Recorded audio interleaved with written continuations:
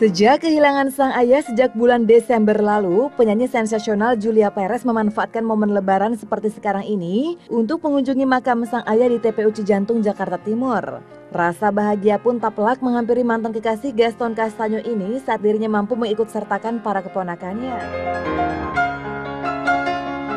Uh, aku juga ya kangen juga sama papa ke sini untuk kasih tahu papaku bahwa adik-adikku sekarang di sini udah bawa anak-anaknya. Kalau kemarin papaku kan selama ini nggak pernah ketemu cucunya.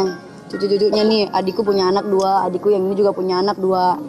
Selama hidup papaku dia nggak pernah lihat. Gitu. Jadi ini adalah mungkin saya yakin uh, papa tuh di uh, di samping Allah sekarang mungkin lagi melihat kita atau mungkin ada di sekitar kita sekarang ini uh, lagi melihat cucu-cucunya ini loh ya udah pada gede-gede gitu.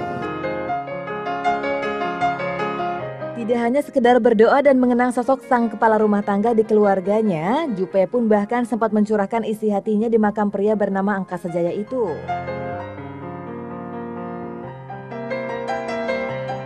Kalau sekarang yang aku pengen curhat itu tentang bola sih kan kemarin aku datang tentang bola. Hmm. Uh, pak papa bola yang menang Jerman. Argentina kalah pak.